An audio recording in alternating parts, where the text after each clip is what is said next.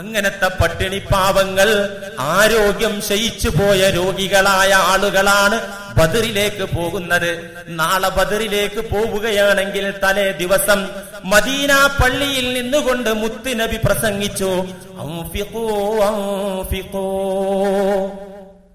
നമ്മൾ അബൂ സുഫിയാന്റെ നേതൃത്വത്തിലുള്ള കച്ചവട സംഘത്തെ തടയാനാണ് പോകുന്നത്. അള്ളാന്റെ ഓർഡറാണ് അള്ളാഹുവിന്റെ ആജ്ഞയാണ്.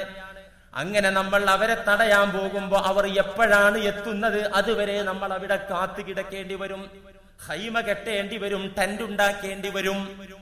അപ്പോൾ അവിടെ വെച്ച് നമുക്കൊക്കെ ഭക്ഷിക്കാൻ ഭക്ഷണം വേണം. അതിന് ഭക്ഷ്യപദാർത്ഥങ്ങൾ അങ്ങോട്ട് കൊണ്ടുപോകണം. അതിനാ ഫണ്ടിലേക്ക് നിങ്ങൾ അംഫിഖു അംഫിഖു നിങ്ങൾ സംഭാവന ചെയ്യണം. പള്ളിയിൽ വെച്ച് തലേ ദിവസം പ്രസംഗിക്കുക. ചില സ്വഹാബികൾ വീട് തുറന്നിട്ട് കാണിച്ചു കൊടുത്തു നബിയെ ഉള്ളതൊക്കെ എടുത്തോളൂ ആവശ്യത്തിനനുസരിച്ച് എന്നല്ല. ഞങ്ങളുടെ വീട്ടിലുള്ള ഭക്ഷ്യവസ്തുക്കളൊക്കെ എടുത്തോളൂ എങ്കിലാ ഞങ്ങൾക്ക് സന്തോഷമാവുകയുള്ളൂ. ചില സ്വഹാബികൾ പറഞ്ഞു ഇത് കേട്ട അബൂ റളിയല്ലാഹു അൻഹു പതുക്കെ ഇറങ്ങിയിട്ട് വീട്ടിലേക്ക് പോയി. ഭാര്യയെ വിളിച്ചിട്ട് പറഞ്ഞു മോളെ നാളെ ബദറിലേക്ക് പുറപ്പെടാൻ നബിയുടെ നിർദ്ദേശമുണ്ട് ഞാൻ പോട്ടോ അള്ളാന്റെ റസൂൽ അങ്ങനെ പറഞ്ഞിട്ടുണ്ടെങ്കിൽ നിങ്ങൾ പോണം. വെറും കൈയോടെ പോയാൽ പോരാ പ്രിയപ്പെട്ടവളെ. ബദറിന്റെ പണ്ടിലേക്ക് അവിടെ വെച്ച് ഭക്ഷിക്കാൻ. അള്ളാന്റെ റസൂലിന്റെ സംഘത്തിന് ഭക്ഷണം വേണം. അവിടെ ആ പണ്ടിലേക്ക് സംഭാവന ചെയ്യാൻ കൂടെ ആജ്ഞയുണ്ടായിരുന്നു ഇന്ന് പള്ളിയിൽ.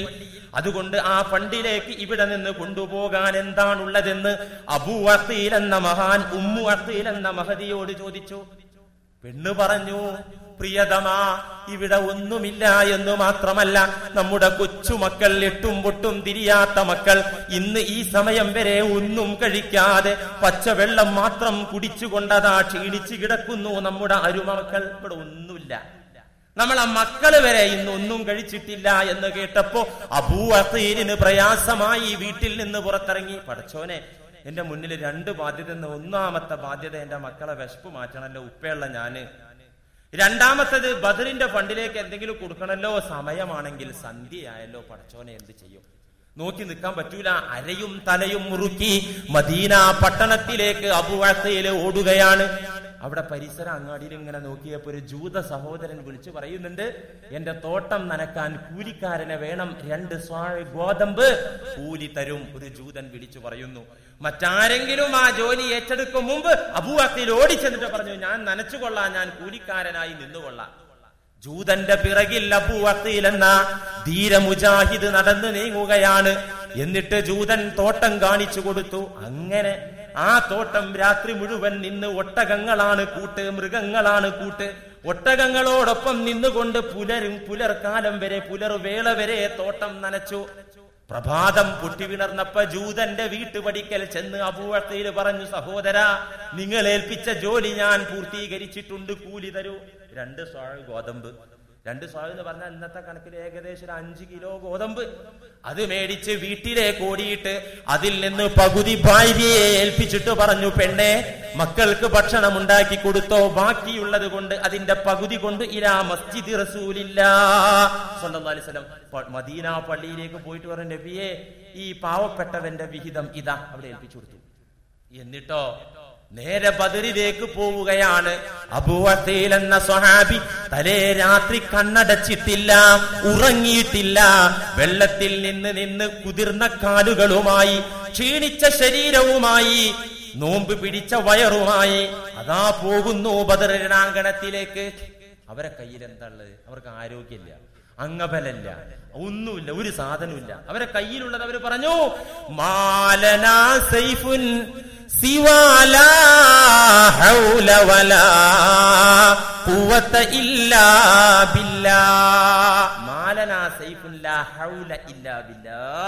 ഞങ്ങളെ കയ്യിൽ ആയുധന്റെ വാളില്ലട്ടോ. എന്നാ ഞങ്ങളെ കയ്യിൽ എന്തുണ്ട്? കുതിരത്തള്ള തരുന്നുള്ള വിശ്വാസമുണ്ട്. അതല്ലാത്തൊരു വാളുമില്ല. അതന്നെയായിരുന്നല്ലോ അവരെ വിജയം.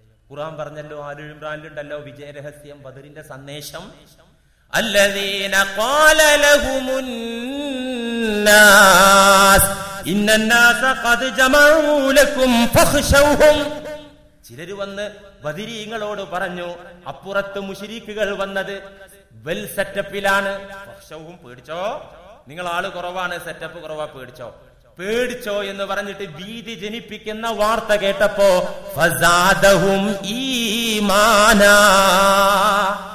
പേടിക്കേണ്ട ഘട്ടം വരുമ്പോ ഏറെ ഈമാണ്ടക നമ്മളെങ്ങനെ പേടിയൊന്നും പേടിയൊന്നുമില്ലാത്തുമ്പോ ഞാൻ മുഅ്മിനാണ് മുസ്ലിമാ. ഞാൻ ആരാ ആൾ ആജിർ കാക്കാൻ ഭയങ്കര ഈമാനും തത്വയും ഒക്കെ ഉണ്ട്. തവക്കുലോ എന്റെ വീട്ടിലെ ചുമരുമ്പോ നിങ്ങൾ വന്നു നോക്ക് തവക്കൽത്തു അലല്ലാന്ന് ഒലക്ക മുക്കി എഴുതിയിട്ടുണ്ട്. ഇങ്ങനെയൊക്കെ പറയുന്ന ആളുടെ ഈ തവക്കുലി ഈമാനും മാറ്റിവെക്കണമെങ്കിൽ ഒരു പ്രതിസന്ധി അങ്ങോട്ട് വരണം. അപ്പ കാണാ. ഈ ക്ലേശകരമായ ഈ വാർത്ത കേട്ടപ്പോ ഭീതി ജനിപ്പിക്കുന്ന അപ്പുറത്ത് വെൽ സെറ്റപ്പിൽ നിങ്ങളെ തകർക്കാൻ വന്നിട്ടുണ്ടെന്ന വാർത്ത കേട്ടപ്പോ.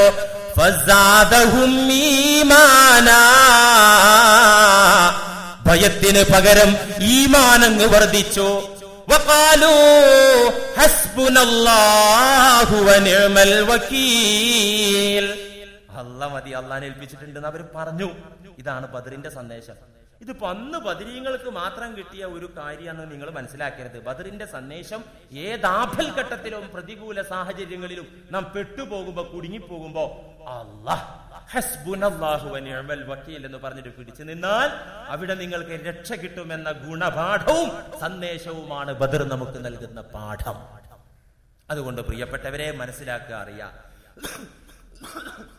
ഇനിയിപ്പോ നമുക്ക് ബദരീങ്ങൾ വലിയ ആളുകളാന്നൊക്കെ പുസ്താതെ തിരിഞ്ഞു.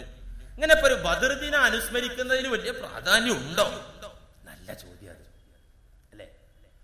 ഒരു ആയത്ത് വിശദീകരിച്ചുകൊണ്ട് ഇമാം റാസി തഫ്സീറുൽ കബീറിൽ വിവരിക്കുന്നുണ്ട് ഏതായത്ത് സൂറത്തുൽ ഹഷറിന്റെ പത്താമത്തെ ആയത്ത് വല്ലദീന ജാഊ മിൻ ബഅദിഹിം യഖൂലൂൻ ربنا اغفر لنا ولإخواننا الذين سبقونا بالإيمان എന്ന് തുടങ്ങുന്ന ആയത്ത് എന്താണ് ആ ആയത്തിന്റെ സന്ദേശം മുൻഗാമികളെ നാമൊക്കെ സ്മരിക്കണം. മുൻഗാമികൾക്ക് വേണ്ടി ദുആ ചെയ്യണമെന്ന് പഠിപ്പിക്കുന്ന ആയത്ത് സൂറത്തുൽ ഹഷറിന്റെ പത്താമത്തെ ആയത്ത്. മുമ്പ് കഴിഞ്ഞ മുഅ്മിനീങ്ങൾക്ക് വേണ്ടിയൊക്കെ ദുആ ചെയ്യണം അവരെ അനുസ്മരിക്കണം എന്ന പാഠം നൽകുന്ന ആയത്ത്. വിശദീകരിച്ചുകൊണ്ട് ഇമാം റാസി വിശ്വപ്രസിദ്ധ മുഫസ്സിറായ ഇമാം റാസി മുസ്ലിം ലോകം പരക്കെ അംഗീകരിക്കുന്ന റാസി എഴുതുന്നു. എല്ലാ മുസ്ലിമീങ്ങളുടെയും ബാധ്യതയാണ്. എന്ത്? ഈമാനിലും തെക്കുവയിലും ഏറ്റവും മുന്നിൽ നിൽക്കുന്ന ആളുകളെ സ്മരിക്ക അതാരാന്നും കൂടി വിശദീകരിക്കുന്നു. വഹുമുൽ മുഹാജിറൂന വൽ അൻസാർ. ആരാ സാബിഖീങ്ങൾ ഖുർആനും പറഞ്ഞിട്ടുണ്ടല്ലോ. അതാണ് റാസി പറയാ. ഖുർആൻ പറയാത്ത റാസി പറയൂല. സാബിഖൂനൽ മിനൽ മുഹാജിരീന വൽ അൻസാർ ആയത്തുണ്ട്. അപ്പൊ ഈ മുൻഗാമികൾ എന്ന നമുക്ക് മുമ്പ് ജീവിച്ചവർ എന്നുള്ള അർത്ഥം മാത്രമല്ല. സാബിഖീങ്ങൾ എന്നാണ് മുൻകടന്നവർ ഈമാനിൽ തത്വയിൽ തവക്കുൽ അതിലൊക്കെ മുൻകടന്ന ആളുകൾ മുഹാജിറുകളും അൻസാറുകളുമായ വിശിഷ്യ പതിരീങ്ങൾ. മുഹാജിറുകളും അൻസാറുകളും ഏറ്റവും പോരിശയുള്ള സ്വഹാബികൾ ആ സ്വഹാബികളുടെ കൂട്ടത്തിൽ. അതിൽ തന്നെ കടഞ്ഞെടുത്ത ആളുകൾ ആ ബദിരീകൾ അവരെയൊക്കെ സ്മരിക്കൽ ഓർക്കൽ ഓരോ വിശ്വാസിയുടെയും ബാധ്യതയാണ് എങ്ങനെ? എങ്ങനെ ഓർക്കുക? അവർക്ക് വേണ്ടി ദുവാ ചെയ്യാം നമ്മളിപ്പോ ആണ്ട് വരുമ്പോഴേ അവർക്ക് വേണ്ടി ദുവാ ചെയ്യുന്നുള്ളൂ. അല്ലാതെ ദുവാ ചെയ്യുന്നില്ല. വറഹ്മത്തി അവരുടെ ആ യുദ്ധമോർത്ത് അവരുടെ ത്യാഗമോർത്ത് അവരോട് കരുണ തോന്നുക. അതെ ഇത് വിശ്വാസികളുടെ ബാധ്യത. എന്നിട്ട് തുടർന്ന് പറയുന്നു റാസി ഈ ആയത്ത് വിശദീകരിച്ച് ഒരാൾ അങ്ങനെയല്ല. എങ്ങനെയല്ല? ബദിരീങ്ങളെ ഓർക്കാൻ നേരം കിട്ടുന്നില്ല. പിന്നെയോ ശുഹതാക്കളെ ഓർക്കാൻ നേരം കിട്ടുന്നില്ല. അതിനു വേണ്ടിയുള്ള സൽബുദ്ധി കാണിക്കുന്നില്ല. അങ്ങനെയുള്ള ആൾ. പിന്നെയോ മോശമായ രീതിയിൽ അവരെ കുറിച്ച് പറഞ്ഞു എന്തൂട്ട് ബദ്രി ദിനം ചങ്ങാതിമാരെ? എന്തൂട്ട് ബദ്രി യുദ്ധം? എന്ന് പറയുന്ന ആളുകൾ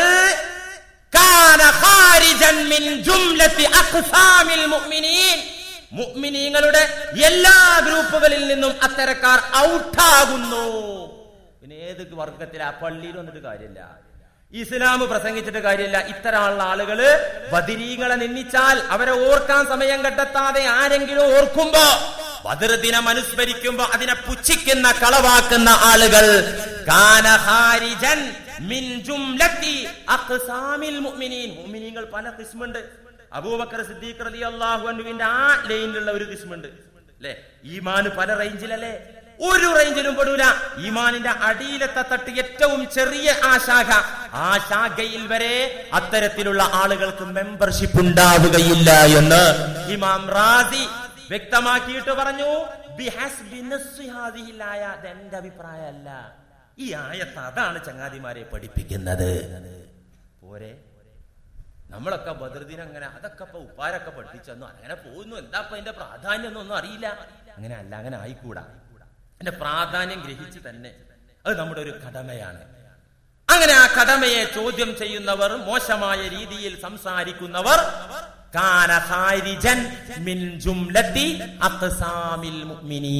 അള്ളാഹു കാത്തി രക്ഷിക്കുമാറാകട്ടെ.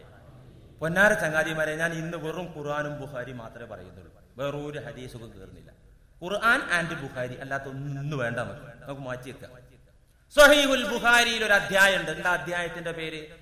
ബാബു ഫലിമൻ മൻ ഷഹിദ ബദ്ര ബദ്ര യുദ്ധത്തിൽ സാക്ഷികളായ പങ്കെടുത്ത ആളുകളുടെ മഹത്വം. യുദ്ധം ചെയ്തവരല്ല. പടവെട്ടി ഷഹീദായവരല്ല ബദർ യുദ്ധത്തിൽ സാന്നിധ്യമറിയിച്ച ആളുകളുടെ മഹാത്മ്യം പറയുന്ന അധ്യായം. ഈ അധ്യായത്തിൽ കുറെ ഹദീസുകൾ ഇമാം ബുഖാരി ഉദ്ധരിച്ചിട്ടുണ്ട്. പ്രധാനപ്പെട്ട രണ്ട് ഹദീസുകൾ. ഒന്ന് ഹാരിസത്ത് റലി അള്ളാഹു അനുവിന്റെ ചരിത്രം.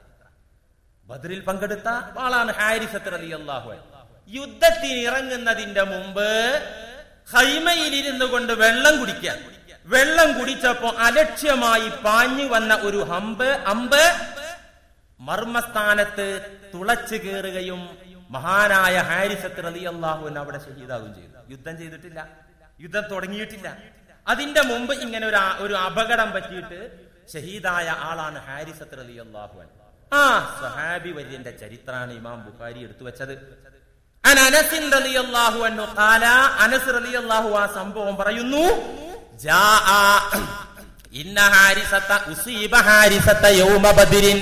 ബദർ ദിനത്തിൽ ഒരു അപകടത്തിൽ ഹാരിസത്ത് മരിച്ചു വീണു. ഹാരിസത്തിന്റെ വൃദ്ധയായ ഉമ്മ യുദ്ധം കഴിഞ്ഞപ്പോ നബിയുടെ മുന്നിൽ വന്നു. എന്നിട്ട് ഫഖാലത്ത് ഹാരിസത്തിന്റെ ഉമ്മ പറഞ്ഞു യാ റസൂലല്ലാ നബിയെ ഞാനും ഹാരിസത്തും തമ്മിലുള്ള ബന്ധം എന്താണെന്ന് നബിക്കറിയാമല്ലോ. എന്റെ മാണിക്യക്കല്ലായ മോനായിരുന്നു ഹാരിസത്ത്. നബിക്കറിയോല്ലോ അത് എന്റെ മോനാണെന്ന്. നബിയെ ഞാൻ വന്നതെന്തിനാന്നറിയോ?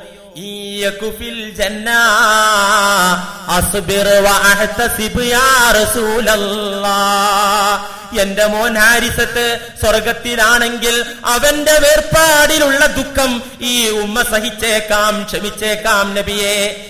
എന്റെ മോൻ ഏതായാലും എനിക്ക് നഷ്ടപ്പെട്ടു. എന്റെ മോന് സ്വർഗത്തിലാണെങ്കിൽ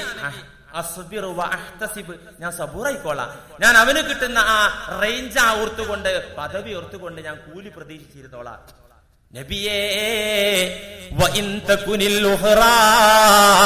യുദ്ധം തുടങ്ങുന്നതിന്റെ മുമ്പാണല്ലോ എന്റെ മകൻ മരിച്ചുപോയത് യുദ്ധത്തിൽ ഇറങ്ങിയിട്ടില്ലല്ലോ പടവെട്ടിയിട്ടില്ലല്ലോ അതുകൊണ്ട്. സ്വർഗത്തിലല്ലാത്ത മറ്റു വല്ല ഇരിപ്പിടവുമാണ് എന്റെ മകന് കിട്ടാനുള്ളതെങ്കിൽ. ഈ ഉമ്മ ഇപ്പോൾ എന്താണ് ചെയ്യുന്നതെന്ന് അങ്ങേക്കു കാണാം. ഒരു ആത്മഹത്യാ ഭീഷണിയുടെ സ്വരത്തിൽ. എനിക്ക് താങ്ങാൻ പറ്റൂല ഒന്നിങ്ങിന്റെ ഹൃദയം പൂട്ടി ഇപ്പൊ അവിടെ മരിക്കും. എന്റെ മോന് സ്വർഗത്തിലല്ല എന്ന സംഭവമാണ് ഉള്ളതെങ്കിൽ ഞാൻ എന്താ കാണിക്കുന്നത്? ഇപ്പൊ കാണിച്ചരാ. ഒരു ഉമ്മ പറയാ നബി പറഞ്ഞു വൈഹക്കി. എത്ര മോശക്കാരിയാണോ നിങ്ങൾ? വൈഹക്കി. ആ വഹബിൽ സുബോധം നഷ്ടപ്പെട്ടു. എന്തുട്ട് ചോദ്യമായി ചോദിക്കുന്നത്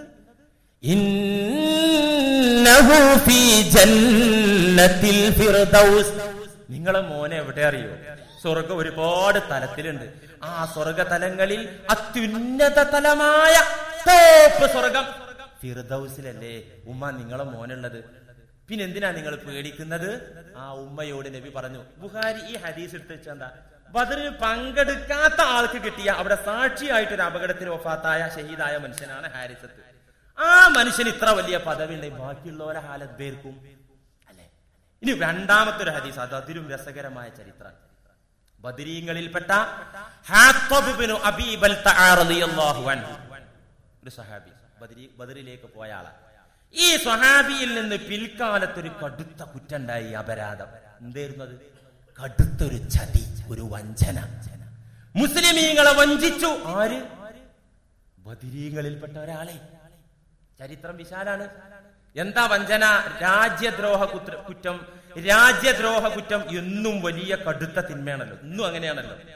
അല്ലെ? രാജ്യദ്രോഹ കുറ്റത്തിന് അറസ്റ്റ് ചെയ്യപ്പെട്ട പിന്നെ വെളി വെളിയിലേക്ക് വരൂല. അത്ര വലിയ തെറ്റ ഇന്നും അത്.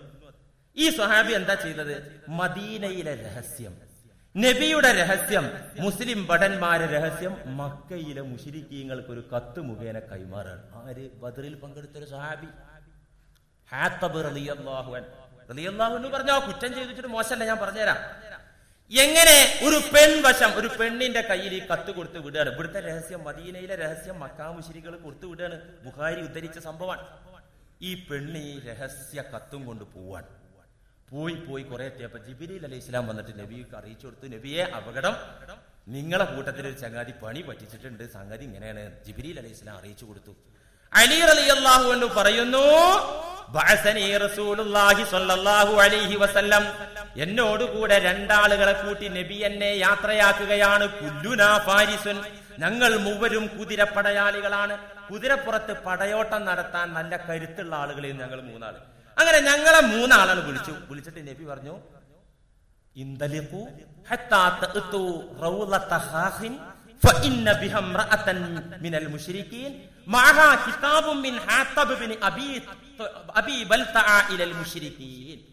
അലി ഞങ്ങൾ മൂന്നാളുകളെ കുതിരപ്പുറത്ത് കയറിയിട്ട് ടപ് ടപ് പെട്ടെന്ന് കുതിച്ചു പോടാൻ സാധിക്കുന്ന മൂന്ന് കുതിരപ്പടയാളികൾ ഞങ്ങളെ വിളിച്ചിട്ട് നബി പറഞ്ഞു പെട്ടെന്ന് പോണം.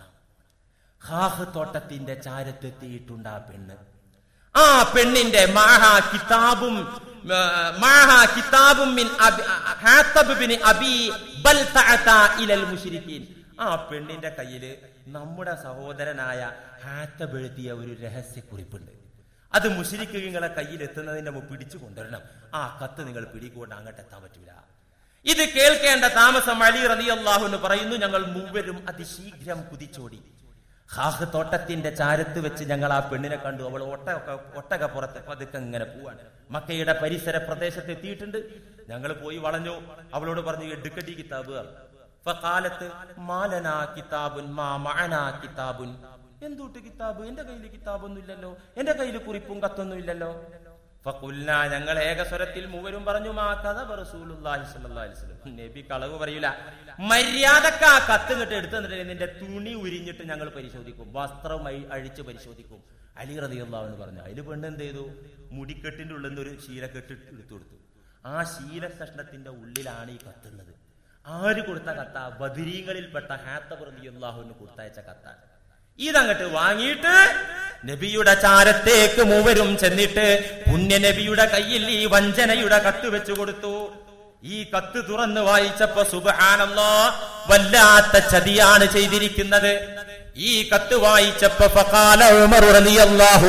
ഇമാം ബുഖാരി ഷഹീഹിൽ തന്നെ ഉദ്ധരിക്കുന്നു. ഉമർ ചാടി എണീറ്റിട്ട് പറഞ്ഞു യാ റസൂലല്ലാഹ് ഇന്നഹു ഖദ് ഖാനല്ലാഹ വൽ മുഅ്മിനീൻ. ഈ ചങ്ങാതി അള്ളാനെ പറ്റിച്ചല്ലോ മുത്തുനബിയെ വഞ്ചിച്ചല്ലോ ഈ ഇരിക്കുന്ന ആളുകളെയൊക്കെ വിഡ്ഢികളാക്കി വഞ്ചിച്ചു കളഞ്ഞല്ലോ. അതുകൊണ്ട്. ഇങ്ങട്ട് വിട്ടു നബിയെ. ഞാൻ അവന്റെ തലയൊന്ന് വെട്ടട്ടെ. ആരെ തല? ബദറിൽ പങ്കെടുത്ത സഹാബി വര്യൻ ഹാത്തബ് ബിൻ അബീ റളിയല്ലാഹു അൻഹുവിനെ കുറിച്ച് ഉമർ റളിയല്ലാഹു അൻഹു രോഷം കൊണ്ട് പറഞ്ഞു. ഫദഅനി ഇങ്ങോട്ട് വിട്ടു തരൂ. എന്നെ ഒന്ന് ഫ്രീ ആക്കൂ എന്നെ വിടൂ. ഫലി അലരി കഹു അവന്റെ തല ഞാൻ എടുക്കട്ടെ ഇത്രയും പറഞ്ഞപ്പോ നബിയുടെ മുഖം നിറം മാറി. നിറം മാറിയിട്ട് ചോദിച്ചു ഉമർ മായുതിരീക ഉമറെ നിങ്ങൾക്ക് എന്തറിയും? എന്താ നിങ്ങൾക്കറിയാ? ആ മനുഷ്യൻ ബദറിൽ വന്ന ആളല്ലയോ? ബദിരീങ്ങളിൽപ്പെട്ട മനുഷ്യനല്ലേ ഹാത്തബ്? എന്ന് നബി പറഞ്ഞിട്ടും ഉമറിന് സമാധാനമാകുന്നില്ല. ബദറിൽ വന്നിട്ട് എന്താ കാര്യം? ഇത്തരം കയ്യിലിരിപ്പുള്ള ആളുകളെ വെച്ചു കുറിപ്പിക്കാൻ പറ്റുമോ എന്ന മുഖഭാവം കണ്ടപ്പോ നബി സല്ലല്ലാഹു അലൈഹി വസല്ലം തുടർന്ന് പറഞ്ഞു ഉമറെ അറിയണം. ബദിരീങ്ങളുടെ ചാരത്തേക്ക് അല്ല വെളിവായിട്ട് ഫഖാല അല്ല പറഞ്ഞു ഇഅ്മലൂ മാ ഫഖദ് വജബത് ലക്കുമുൽ ജന്ന ഖദ് ഗഫർതു ബദരീങ്ങളുടെ കാര്യത്തിൽ അല്ല പറയാൻ മാത്രം ബദരീകൾ വളർന്നിട്ടുണ്ട്. എന്ത്?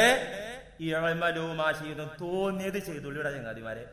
ആ ഫഖദ് ഓഫർത്തിലേക്കും ലക്കും നിങ്ങൾ എന്ത് ചെയ്താലും ഞാൻ പുറത്തു തരും വജപത്തിലേക്കും ജന്ന നിങ്ങൾക്ക് സ്വർഗം വാജിബായിട്ടുണ്ട്. ഈ ഒരു ഗുഡ് സർട്ടിഫിക്കറ്റ് ലോകത്ത് ആർക്കാ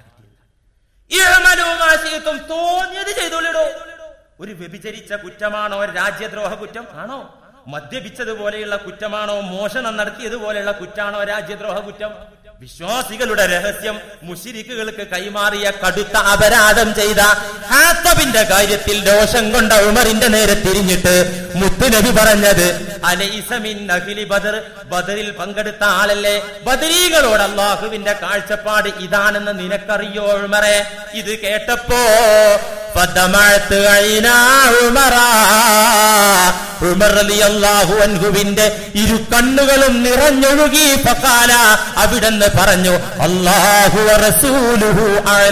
നബിയെ ബദരീങ്ങൾക്ക് ഇത്ര സ്ഥാനമുള്ള എനിക്കറിയില്ലായിരുന്നു. പാപ്പാക്കണം നബിയെ പുറത്തു തരണം നബിയെ. ഉമർ ചരിത്രത്തിൽ അതുല്യരാണ് ബദിരീങ്ങൾ അതുല്യരാണ്. ഇമാം ബുഹാരിയൊക്കെ റിപ്പോർട്ടകന്മാരെ പറയുമ്പോൾ രസമുണ്ട്. ഇത് നബിയിൽ നിന്ന് ഇന്ന സ്വഹാബി ആ സ്വഹാബിയിൽ നിന്ന് ഇന്ന സ്വഹാബി ഇന്ന സ്വഹാബി. ഇങ്ങനെ റിപ്പോർട്ടക പരമ്പരയുണ്ടല്ലോ. ഇതിൽ ഇടക്കൊരു ബദിരി വന്ന അപ്പ പറയും വക്കാന ബദിരിയൻ ഇത് ബദറിൽ വന്ന ആളാട്ടാ.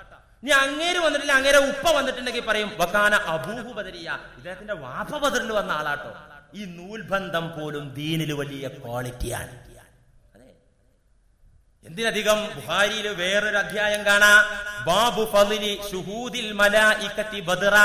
ബദറിൽ മലക്കുകൾ ഇറങ്ങിയ വിഷയം പറയുന്ന അധ്യായം. ബദറിൽ മലക്കുകൾ വന്ന കഥ പറയുന്ന ഭാഗം. ചരിത്രം പറയുന്ന ഭാഗം.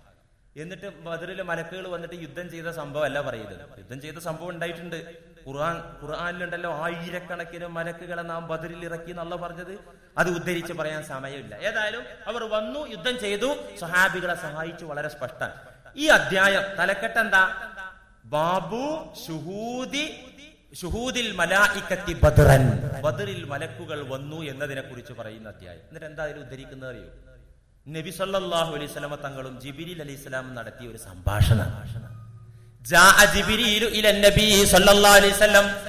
അലൈഹി നബിയുടെ ചാരത്ത് വന്നിട്ട് ചോദിച്ചു നബിയേ മാ തഴുദൂന അഹ്ല ബദിരിൻ ഫീക്കും നബിയെ നിങ്ങളെ കൂട്ടത്തിൽ ബദറിൽ വന്ന വിശ്വാസികളെ കുറിച്ച് നിങ്ങളെ കാഴ്ചപ്പാട് എന്താ ജിബ്രീൽ അലൈഹി സ്വലാം ചോദിക്കുകയാണ് നബിയോട് മാ തഴുത്തൂന അഹുല ബദിരിൻ ഫീക്കും. നിങ്ങളുടെ കൂട്ടത്തിൽ ബദർ യുദ്ധത്തിന് വന്ന ആളുകളെ കുറിച്ചുള്ള വീക്ഷണം കാഴ്ചപ്പാട് എന്താണ് നബിയെ? ഫഖാല റസൂൽ ജിബ്രീലിനോട് മറുപടി പറഞ്ഞു അലൈഹിസ്സലാം മിൻ മുസ്ലിമീൻ. മുസ്ലിമീങ്ങളിലെ മുസ്ലിമീങ്ങളിലെ ഏറ്റവും ഉന്നതരാണവർ. ഇത് കേട്ടപ്പോ ജിബ്രീൽ അലി ഇസ്ലാം പറഞ്ഞെന്താ കദാലിക. കദാലിക. മൻ ഷഹിദു മിനൽ മലായികത്തി അതന്നെ ഞങ്ങളെ അവസ്ഥ. മലക്കുകൾ ലക്ഷക്കണക്കിന് കോടിക്കണക്കിന് മലക്കുകൾ ഉണ്ടല്ലോ ഈ മലക്കുകളുടെ കൂട്ടത്തിൽ ബദറിൽ വന്ന മലക്കുകൾക്ക് അള്ള പ്രത്യേക സ്ഥാനം കൊടുത്തിട്ടുണ്ട്. ആ, ഭൂമിയിലേക്ക് ഇറങ്ങി വന്ന മലക്കുകളെ പോലും അള്ള പ്രത്യേകം മാനിച്ചിട്ടുണ്ട് എന്ന് ജിബിരി അലൈഹി സ്വലാം നബി തങ്ങളോട് പറഞ്ഞു കൊടുത്തു. ഇതൊക്കെ മുസ്ലിയാരെ ഞങ്ങൾക്ക് വിരോധമുള്ള കാര്യമൊന്നുമല്ല. ഈ ബദരീങ്ങൾ അങ്ങനെ പുകഴ്ത്തിപ്പാടി മൗലൂദൊക്കെ ഓതുക ഇതിന്റെ അതൊരു വിധേയത്തല്ലേ? അല്ല പഠിക്കുമ്പോ ഒക്കെ പഠിക്കണ്ടേ? അതും ഒരു ചോദ്യമാണ് ഇപ്പൊ ഈ പറഞ്ഞിടത്തോളം കാര്യത്തിലൊന്നും ഞങ്ങൾക്ക് തർക്കമില്ല എതിരഭിപ്രായമൊന്നുമില്ല. എന്നാലും ബദരീങ്ങൾ അങ്ങനെ പുകഴ്ത്തിപ്പാടുന്ന അത് വേണോ. വേണം. അത് പുതിയതാണോ? അല്ല. നബി സല്ലല്ലാഹു അലൈഹി വസല്ലമ തങ്ങളുടെ കാലത്തു തന്നെ ബദിരീങ്ങളെ പ്രകീർത്തിച്ച് പാട്ട് പാടിയിട്ടുണ്ട്. നബി തങ്ങൾ അതിനെ പ്രോത്സാഹിപ്പിച്ചിട്ടുണ്ട്. ഒരൊറ്റ സംഭവം ബുഹാരി ഖുർആൻ ബുഹാരി വേറെ വേണ്ടട്ടോ ബുഹാരി എന്താ ബുഹാരി സംഭവം? ഒരു ബദറിൽ ഷഹീദായ സ്വഹാബിയാണ്. മുഅവ്വിദ് റളിയല്ലാഹു അൻഹു. ആ മൗലൂദിന്റെ ഏടെടുത്ത് ബദർ മൗലൂദ് എടുത്ത് നോക്കിയാൽ മുഅവ്വിദ് കാണയിൽ ശുഹദാക്കളിൽപ്പെട്ട ആളാ. ഈ മുഅവ്വിദ് റളിയല്ലാഹു അൻഹും അദ്ദേഹത്തിന്റെ സഹോദരൻ ഔഫ് ബദർ യുദ്ധത്തിൽ ഷഹീദായ മഹാത്മാക്കളാണ്. മുഅവ്വിദിന്റെ മുഅവ്വിദിന്റെ മകൾ റുബൈ എന്ന് പറയുന്ന പെൺകുടി പറയുന്നു. എന്റെ ഉപ്പായും എന്റെ കൊച്ചാപ്പായും ഒക്കെ ബദർ യുദ്ധത്തിൽ ഷഹീദായ ആളുകളാണ്. എനിക്ക് ഉപ്പുണ്ടായിരുന്നില്ല എന്റെ കല്യാണം ഉറച്ചു. ഞാനൊരു കന്യകയായിരുന്നു. ഞാനൊരു യുവതി ആയപ്പോ എന്റെ കല്യാണം തീരുമാനായി. കല്യാണം തീരുമാനായി. ഉപ്പല്ലാത്തോണ്ട് ഒരു കുറവും വന്നില്ല. അൻസാരി കുടുംബമായിരുന്നു ഞങ്ങൾ.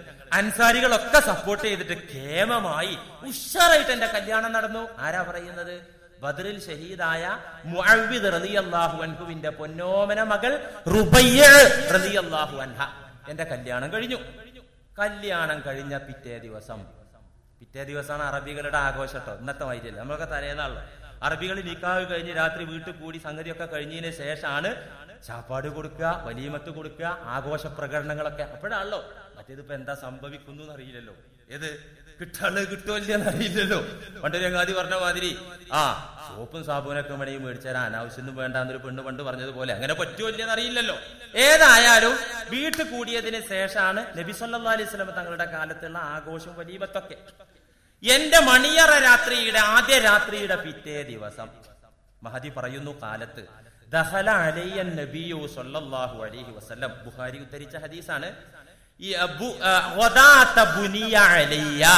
എന്റെ ആദ്യ രാത്രി കഴിഞ്ഞ പുലർവേളയിൽ നബി സല്ലല്ലാഹു അലൈഹി തങ്ങൾ ഇങ്ങനെ വരുന്നുണ്ട് വന്നിട്ട്.